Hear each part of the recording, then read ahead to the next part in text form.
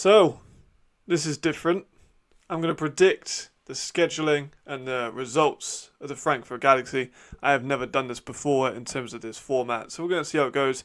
This took me a while to put together, and we're just going to get straight into it. No, uh, no faffing about. The schedules have been gradually just coming out from the ELF themselves of just who they're going to play with the bye weeks and the selection and the dates and stuff. So I just wanted to talk about it and kind of see where I think the Galaxy can end up because they got a lot of hype around them. They really do, and they have the hardest schedule in Europe.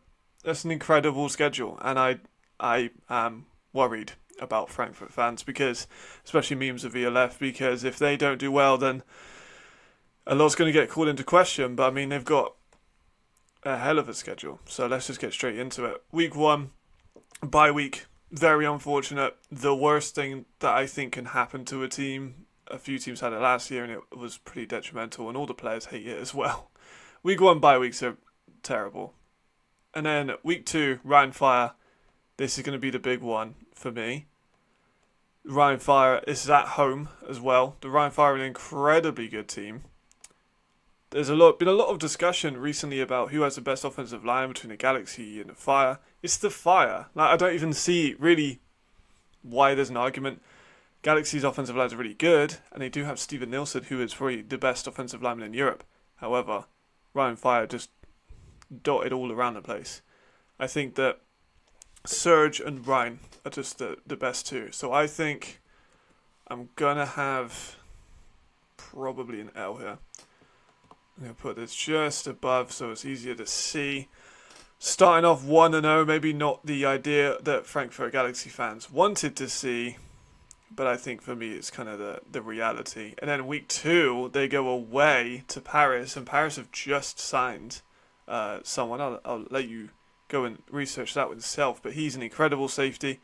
Played the outside linebacker in the USFL, played at USC. He's an excellent player, one of my favourite players in Europe and I think that they they might just go. It's, it's in Paris. This is what I'm thinking. They do have an overall an, an amazing team, but I think I'm going to give the edge to Paris, given that it's in the city of Paris. So I'm going to put another L. Just going to raise those two up a little bit, just so they're in line. Week three, Wroclaw at home. Another really fucking hard game. Wroclaw are looking like early title contenders. They have the the better quarterback, I think, at the two of them. But then, you, you know, uh, they have Sandro Platzgummer who's also joined Frankfurt Galaxy. We'll see how he does in terms of his his um his injury rehab. Frankfurt do just have overall a very very balanced team. They have some very good receiver picks like uh, Brandon Butler and the, the uh, Schwan brothers. Are very underrated in that receiver core. They have Nico Straumann, who's an excellent complementary German receiver. They've got a good offensive line, and Wroclaw also have the same. Wroclaw also have a very good team, but I think I'm going to give the edge to the Frankfurt Galaxy. This one was a tough one, but I gave the same reasoning of home games to them, so I think I'm going to do the same for them here. Another bye week going into it, one and two. Maybe not the idea start for them, but could be a lot worse. And then they come in fresh off the bye week at home to Hamburg. Hamburg have struggled this year. They do have some very good talent, but I think given Frankfurt's overwhelming abundance of talent, I'm going to give them the win here. I don't think it'll be that tough for them because they are at home. They'll, they'll be fresh off a bye week. They'll be able to come out of this three game stretch pretty uh, pretty war torn, but very experienced, and I think that that could be quite an early having that early start could really either make or break Frankfurt this season. But I'm going them to win against Hamburg, Madrid. We're going to knock off another W. Madrid are very good. They do have the most of the Spanish talent. I think they are the best Spanish team by quite a considerable amount. However, Frankfurt Galaxy are title contenders, and I don't see Madrid in the same light. Madrid do have a lot of talent throughout the roster. The running back's good with Dwayne Obi. They have a pretty solid offensive line built up the Spanish talent, but they've also got people like Connor Bolton and Robert Finch. They have Chris Helbig, a quarterback who is an experienced player who's very good at play action, and he can kind of dot around the ball. But I think that given the quality of Hamburg, I'm going to give them the win here. Cologne, This is going to be uh, Darren, the DB, the nickel DB. I'm kind of in the process of watching some tape on him at the moment. I put on Twitter his motor could power the sun, and I think that really does come in here. He's one of my favorite DBs I've been watching. Needs to clean up a lot of his technique, but that's just kind of an earlier insight into something I might be making soon. But Hamburg, Madrid, Cologne, I can see this being quite a comfortable three game stretch considering the this start. And it is also at home. Two of these are at home, they go on a away game. And then they go on a big away game streak here, starting with Rhein away. I think everyone kind of knows where I'm going to go here. I think it's going to be another L. I think that Fire have too much for them. I think these games will be closer than last season, but I still think that Rhein, you know, the the whole thing of Rhein owns owns uh, Frankfurt.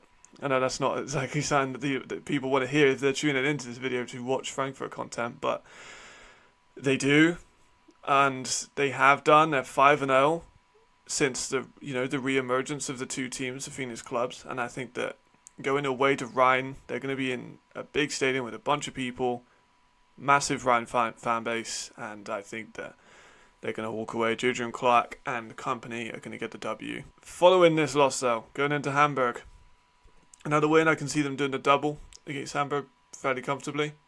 I don't see a way, obviously, foot, every, any given Sunday in football and all the cliches and stuff like that, but I don't see a way that Frankfurt loses to Hamburg. They Hamburg do have talent, but Frankfurt just have more in more. They've got Markel Castle, who is the best receiver in the league last year, obviously the Triple Crown winner, and that receiver core overall is just very, very dominant. And then defensively, they've got a lot of guys coming in. Carlos Bruins being one of them. Sebastian Gunther is another. Mark Anthony Louis Achane, and of course Divine Buckram as well is just one of the. I think the people that I've talked to, a lot of them say Divine Buckram is the best DB in the league, and I will definitely do a video on him at some point, and he is excellent. So they've just got too much, I think, and they they walk away another win. Same argument with Cologne. I think they do the double, and then we'll just skip the formalities and and go for the double against Madrid as well. Just too much talent. They're loaded, and these teams have deficiencies in some areas. They have talent, of course, but this is a brutal away game stretch. So to go from Fire to Hamburg to Cologne, obviously it's all in Germany, so it's not too bad, but they they come out of this looking pretty good. Wroclaw next, away, tough one, really really tough one. It gives them the W earlier this is going to be in Poland. Wroclaw are going to be looking to finish strong, especially if they're going to be beating the Vienna Vikings, which I think they definitely can this season. I think, in in my opinion, I think they're going to split these games. I think that they get the earlier win, and then Frankfurt take the loss in the rematch towards the end of the season. They look quite comfortable going into the playoffs if they successfully beat Paris in the next game. So it could be quite a, you know, quite an important two game stretch to finish it off. But week 14, another tough one. They're at home against Paris. Paris took the W earlier in the season. They they have an easier schedule, not by a lot. They're obviously in the same conference, in the Western Conference. But again, I feel like they could split, and it could be sitting on the fence. But Paris are just very good. But I think, oh, this is a tough one. I might even go for Paris in the double. You know.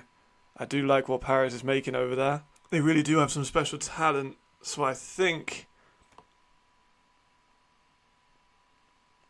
Can we see it? I think I'm going to go for Frankfurt losing both games against Paris.